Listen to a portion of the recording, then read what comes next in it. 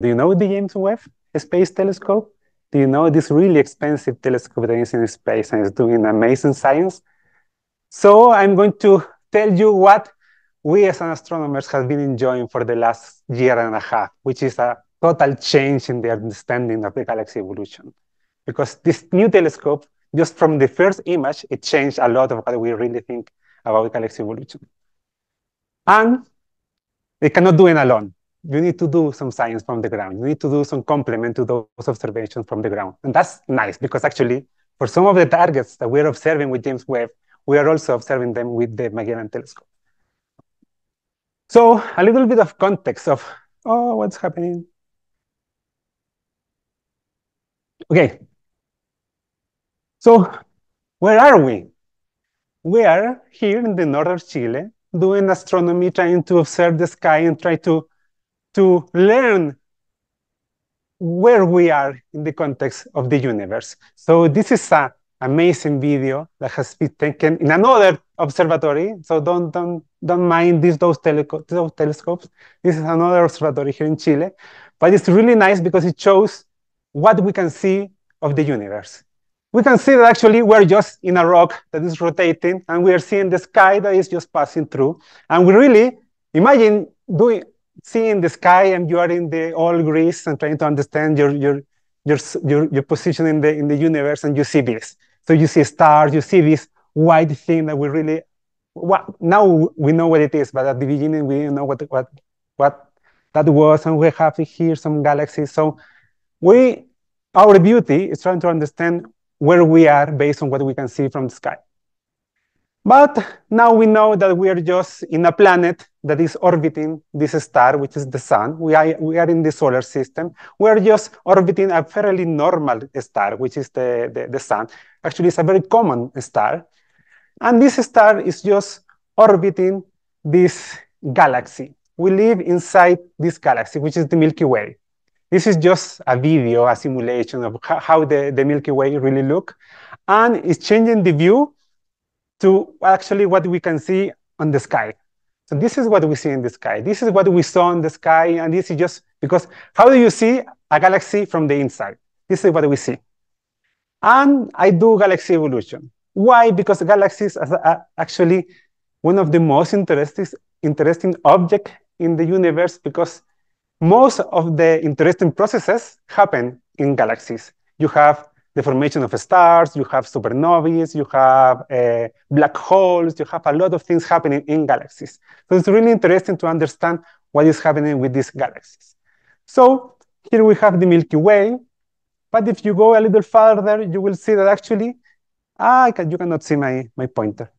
So this is just a picture of how the Milky Way would look with a bunch of small galaxies around it. These are the satellites of the Milky Way. And here we have uh, Andromeda, which is another galaxy that is nearby. Have you seen Andromeda? You can only see it from the see it from the northern sky. You cannot see it from the south, which is a pity. So if you just look to the nearest galaxies, you see two spiral galaxies and a bunch of small galaxies. And if you go a little further, you will see that actually we have different types of galaxies. We have the elliptical galaxies, the spiral galaxies, the irregular galaxies. They have different colors, different sizes, different shapes. And what we really want to understand is why they look the way that they do. Why is this galaxy or, uh, orange or kind of red? Why do we have this star formation happening in this galaxy? How do we, how do these galaxies come to be? That's actually what we do in galaxy evolution. And how do they evolve? Do these galaxies just appear and they are they, they don't change or they change a lot? That's the question. And to do that, to understand the galaxy evolution, the only way to do it is to look into the past. Because we cannot, the Milky Way, we will never see how the Milky Way looked uh, five years, five giga years ago. It's impossible because we only see it now. So in order to understand galaxy evolution, you need to look to distant galaxies because of the speed of the light. When you look at distant galaxies, you are seeing the past, how the universe looked when it was half its current age, for example. So if you look into the past, you look the distant galaxies, and you can learn about the different paths to form galaxies, for example. And the common picture that we have, the, the understanding of how these galaxies came to be, is that actually a galaxy like the Milky Way, which is a spiral galaxy, it was very likely formed by the combination of smaller galaxies. So at the beginning of the universe, we have these small dwarf galaxies and they start merging together until they become something like the Milky Way. This is kind of the, the, the, the main framework for galaxy evolution. We know that galaxies merge together, they accrete more material, and they become something like the, the Milky Way. And then it could happen that this Milky Way could, could crash with the Andromeda and it would form an elliptical galaxy, for example. So this is our, our understanding of the, of the galaxy evolution. But I want to, to mention something about studying distant galaxies. So you know that the universe is expanding, right? We live in a universe that is expanding. And the galaxies, they are, they are farther away. They appear as they are moving faster from us. And this produces something that is called redshift. So here we are looking at this galaxy that is moving from us because the universe is expanding, but the light is gonna shift into the red. The light from this galaxy is gonna, it's gonna appear redder and redder and redder because of the universe that is expanding. This is very similar to what happens with the Doppler effects. You, you have the change in pitch for a given sound when it's moving with respect to us. The same is happening with the light. And this is important because if you want to study distant galaxies, actually the light from these galaxies is going to move to the infrared. So very distant galaxies, they are bright in the infrared, and they don't appear in the optical bands. So actually, if I just go outside and look with a large telescope and look in the optical wavelengths, I'm not going to see the farther galaxies because they already moved to the infrared. They are hidden from the, from the ground. And that's why we have telescopes in space, because you, you can do these kind of observations from space. And this is where these telescopes came, uh, is important because this telescope was designed to look into, into the infrared. And just as an example here, this is the pillars of creation. Have you seen this image, this beautiful image from HST? So you can see a lot of dust and a lot of the creation of new stars embedded in the, in the dust clouds. But if you look to the same uh, region with the James Webb, you start to, free, to see through the, through the clouds, to the dust because the infrared is able to, to pierce the, the clouds. And this is just the same that happens here. Here we have the optical light, and in the infrared, we can see, for example, the lights that they are hidden behind the, the back. So this is what the James Webb telescope is doing. And actually, what is really important, besides the wavelength, the colors that the, the, the James Webb is observing, is also, this is a large telescope in space. Imagine that you have a Magellan telescope in space. And that's also why it was so expensive to, to launch it, because you need to, to build this telescope, fold it, and then launch it, and then unfold it. And what is amazing is that it's really larger than the, than the Hubble uh, Space Telescope. So you really have more power to detect galaxies. And also you have the, the wavelength range to detect the distant galaxies. But the issue, not, not an issue, but the, the understanding that we had before the launching of the James Webb is that Hubble already revealed a lot of distant galaxies. And our understanding of the universe was telling us that actually James Webb was going to detect only a few more distant galaxies because we really thought that we have detected everything. This is just what happens in science. You, you think that you reach the limit and then a new instrument comes and breaks everything. So really, this is an old cartoon for these discoveries. And uh, James Webb was supposed to only push the arrow a little bit to the right. And here to the right, we have the how far we're observing in the, in the past. So here we have a billion years after the Big Bang. And here we have redshift. Redshift is just an estimate of how much the light is moving to the red.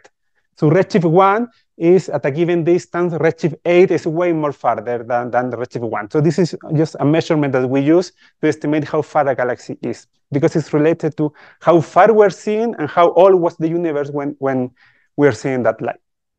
So now I'm going to talk a little about two really important new discoveries that James Webb has revealed in the first half and a year, year, year and a half. So the first thing is that this telescope has discovered too many bright galaxies and massive galaxies. And this is an issue, an issue because our, our models were wrong. And it's a nice issue because now we need to learn a lot about galaxy evolution to understand what is happening with these new galaxies. So I don't know if you have seen this image. This is the first image that was revealed by the Biden president, the president Biden. This is the Biden image, some people call it. The Biden image. And it's a galaxy cluster that actually, from this image, people already found really distant galaxies and very massive galaxies and really bright galaxies. And that was not as we expected, which is cool. We have a lot of galaxies that we can observe and we have a lot of physics that we need to learn. So the first discovery, just from the first image, is that we have too many bright galaxies at the beginning of the universe. How do we explain that? That's a good question.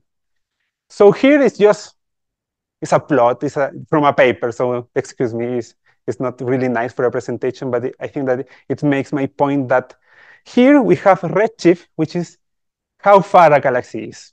And here is a, uh, a magnitude in the UV, which means how bright it really is. So the black points are all the galaxies that have been detected by HST. And in the first year, James Webb detected all the red points. So it pushed the limit a lot and into the fainter uh, range also. But we also have these candidates that are really bright and really far, and we really have no model to explain those galaxies.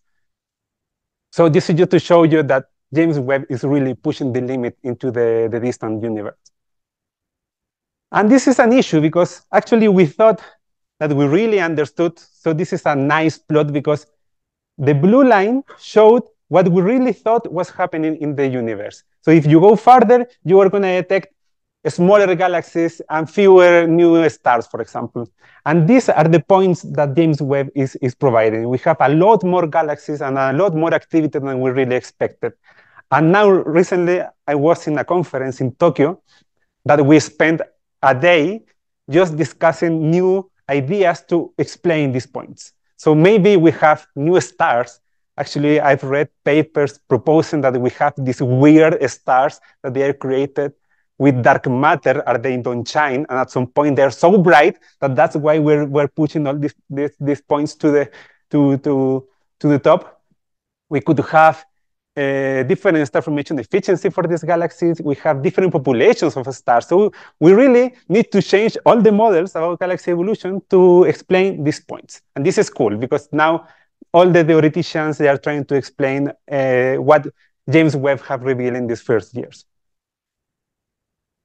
And, and also we have another issue is that not only the distant galaxies ha we have seen too many and too bright, but galaxies that they are closer to us, they also appear too massive, and there are too many. And actually, these are three galaxies that I have read a lot in the, in the proposal for the James Webb, because they call these galaxies the uni universe-breaking galaxies, because the universe is too small to have these galaxies.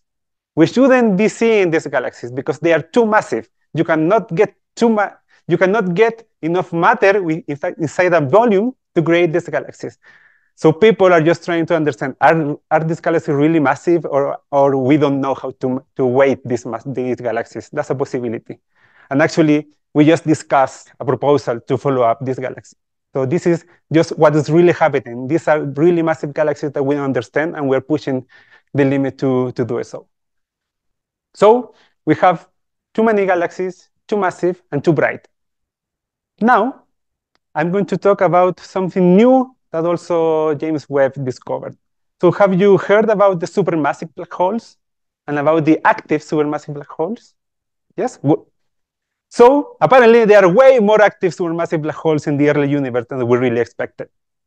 And this is something that I can show you in this picture. So James Webb discovered these sources, these little red dots. So if you could think that actually these are just red stars, but actually they measure the distance and they're really far. They are galaxies that are really far from, from us. And what is really happening here is, is that we're seeing the emission of black holes. So black holes, they can accrete material and they can they can shine just like in the picture in the in the movie. Uh, but we can have these black holes, the supermassive black holes. These are the, the, the really big black holes that we have in the center of galaxies. So I don't know if you have you have seen this these pictures, right? Okay, these are two real images of the supermassive black hole in the center of the Milky Way and in the center of the galaxy M87. These are two real pictures of the material that is being accreted into a supermassive black hole. So these are just two real images of, of black holes. The black hole is, in, is the thing in the, in the middle, the black hole. But this is the material that is being accreted into these black holes. And we can already see in the local universe, in the Milky Way, you can go, where is the center of the, the, the Milky Way? You can go and see this supermassive black hole.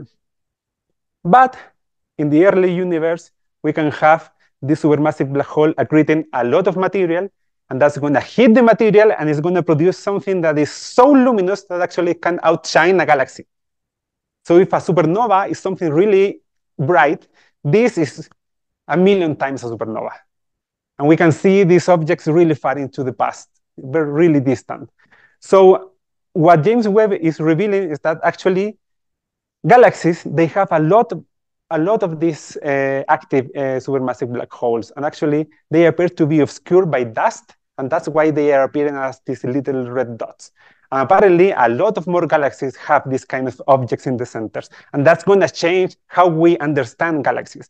For example, I do galaxy evolution, I know that most of the galaxies have these objects in the center, but I know I have colleagues that they work only on these objects. And they only think of the galaxy something is around the black hole because these objects are so massive and so powerful that actually they can just drive the evolution of galaxies. And we, now we understand that this is happening in the high redshift universe, in the distant universe, and we really need to take into account. But now I want to talk about a new window that James Webb is bringing to us, which to trade the gas in the early universe. And so you already described how what spectroscopy is that you can actually you can have the sunlight and you can disperse it into different colors and you get more information about the process if you take the spectrum of, of, of, the, of the light instead of only taking an image. And actually you have heard this, an image is worth one, 1,000 words and a spectrum is worth 1,000 images. So that's that's the, that's what we say in astronomy because at the end you have different images and different colors. But typically, to get the spectrum, you need to put a slit over a star or a galaxy to get the spectrum. So that's the complication. But now we have these new instruments, which are the integral field units, that actually they measure spectrums in different positions of an image. So instead of using a slit, you get a spectrum all over the galaxy. These are new instruments. They, can, they, can, they can obtain spectra in different positions of the sky. It's like taking an image and getting all the colors of that image at the same time. Actually, these are cubes, because if you collapse all the wavelengths, all the colors, you get the white light and you get the image. But actually, you can go and get the image associated to the yellow, to the red, and to the everything. And actually, you will see that in some at some colors, you see the emission from different gases, and you can see that the galaxy is rotating. Did you see that? You will see that actually you can see the gas that is moving at different velocities because, because with the spectroscopy, you can trace the different velocities here. And actually with this instrument, we can trace the gas around these galaxies. And this is really important. Ah, okay, something I wanted to say. These new instruments, they are really complex. So this is a picture of, a, of an IFU that is in a telescope here in the ground. They are really massive. They are really difficult to build. And now we will have one in space, in the James Webb. And this is, these are just what we can see with this IFU.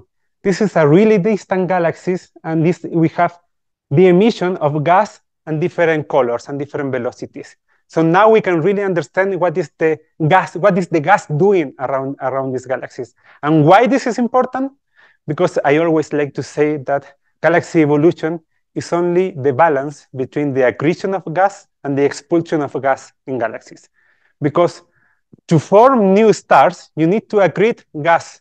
This is the fuel for star formation. So you're going to accrete gas, you're going to form new stars, and they're going to explode as supernova, and those supernova are going to expel the gas. And at the end, galaxy evolution is understanding this balance. So if you have a lot of gas, then you are going to have a lot of star formation. And then that star formation is going to maybe destroy the galaxy because of all these different explosions. So understanding the balance between the gas accretion and expulsion is really important to understand the galaxy evolution. And this is what we are trying to do with Polo and these distant, distant galaxies, trying to understand what is happening with the gas around these galaxies. And this is the object that we are going to observe with James Webb in two months, actually. This is a pair of galaxies at redshift 4.5, just so you have an idea of how, how far they are. And we discovered a nebula of hydrogen around this pair of galaxies. But we also discovered some extended gas. This is carbon that we detected. So we have two galaxies and we have this nebula of gas. We really want to now understand, is this gas that is falling into the galaxies and is fueling star formation? And actually we are seeing the gas that is being expelled. So this is why we got time with James Webb to actually to reveal what's really happening here. And we received the first images uh, three weeks ago. And now I'm kind of disappointed because of the nice picture that you showed. And this is actually what we use. These are just, this is, a, this is the main galaxy that we're studying, and this is the other galaxy. And uh, and we detected this new cloud that we really don't, don't know what it is. We're trying to, to understand what is happening. We have this new yellow thing that is in the middle. We don't know what is happening. But now, for example, we have a counterpart to the, to the extended carbon emission. So this is just the preview of what we will get in a couple of months. Because in order to get the, to do the observations, they need to do these images first, and then they're going to put the, the spectrographers uh, over the, the image. So this is what we got three weeks ago, and we are working to, to, to get the new IFU observation for these galaxies. True colors in the sense that the red is the reddest filter that we are using. Yeah, here the blue is already in the infrared yeah, we can we cannot see these galaxies with the with the naked eye. These are just shifted into the infrared. And also we have another project. we have another project that actually we're gonna do an IFU observations of this galaxy, this really long galaxy. And what is happening here is that this is a galaxy that is being gravitationally lensed by a galaxy cluster. So the mass is bending space and it actually is stretching the galaxy. That's why it's so extended. And we discovered, uh, again, a cloud of hydrogen around these galaxies. And we now, with James Webb, we're going to understand what's really happening in this galaxy. And I would like to, try, to show that picture because this is the logo for a survey. And the survey is MEGaSaURA. And actually, MEGaSaURA is the Magellan Evolution of Galaxies Spectroscopic and Ultraviolet Reference Atlas. It's a long name. But it's important to make the connection because MEGaSaURA was observing this galaxy five years ago. So these observations with James Webb were based on the observation that they took with the Magellan telescopes. So this is, this is what I want to show that we're really doing cutting edge science, but we need to do with previous observation done, done maybe with the Magellans or other telescope.